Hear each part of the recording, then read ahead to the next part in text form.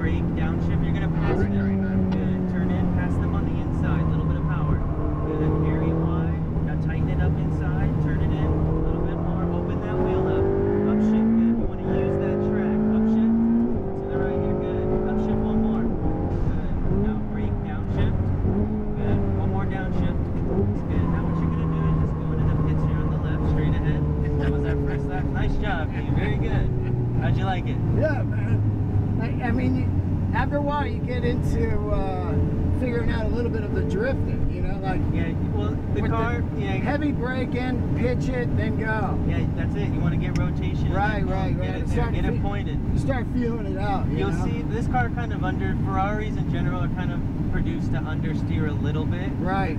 Porsches are produced to oversteer a little okay. bit, so you're gonna see more sharpness as you turn in with the Porsche. Wow.